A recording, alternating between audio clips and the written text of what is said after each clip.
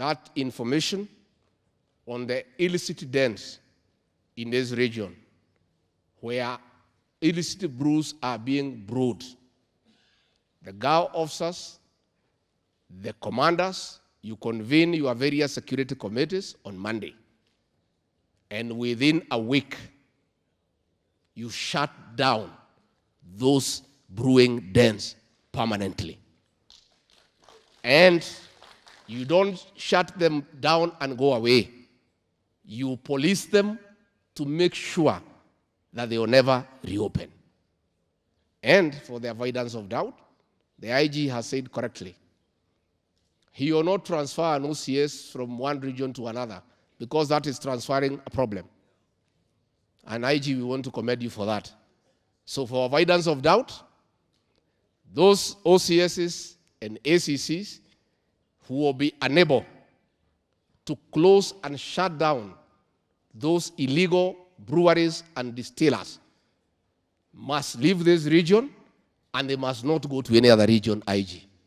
You know where they should go. They must leave this region, but they must not go to any other region within the Republic because that is transferring a problem. And if you cannot close down dens within your area, the list is here. You will be given the list. It is clear. There is no discussion. You have enough personnel.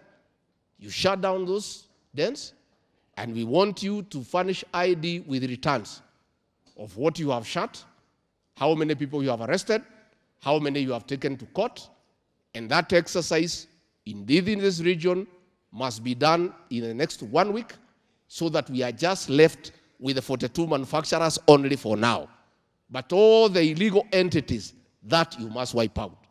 And there is no discussion because it is clear it's a simple job and you shouldn't allow it to happen. Again, in issues, drugs, there's no discussion. No drug is licensed. So there's no conflict. You cannot blame the county government. No drugs are sold in any shop. The truth of the matter is that these peddlers, you know them. That is the truth. That is the truth. The chiefs know them. The policemen know them.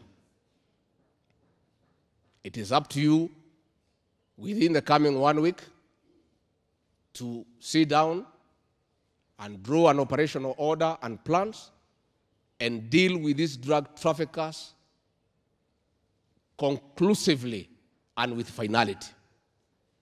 And it doesn't matter, even if you take somebody to court and he is given a small fine, arrest him again and take him back. He is released, take him again.